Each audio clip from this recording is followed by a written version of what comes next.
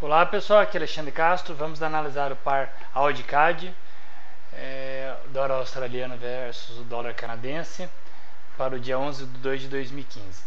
Gráfico diário, o preço após um, um movimento aí corretivo, te dar um zoom aqui, nós temos este movimento principal, onde nós tivemos aqui o preço fazendo um teste em um suporte, onde foi respeitado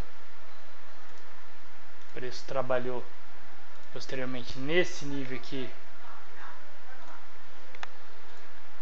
De trabalhou esse nível de, de resistência.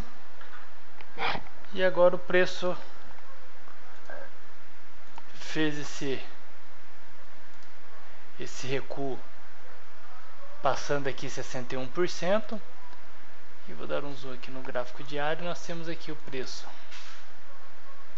nos últimos dias, onde nós temos um engolfo de um candle aí desproporcional aos candles anteriores e nós temos já um, dois, três, quatro, cinco candles aí presos dentro desse candle, mas nós temos candles aí é, formando aí é, uma, com a formação é, sinalizando entrada de força compradora, ok?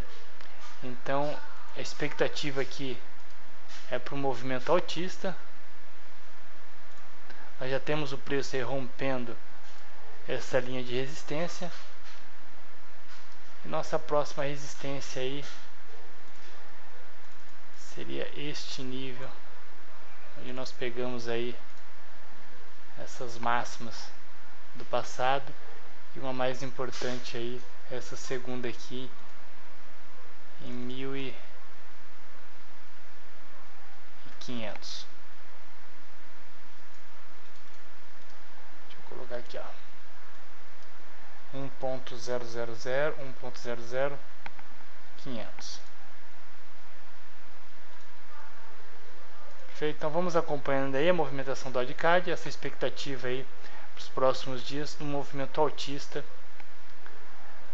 para o par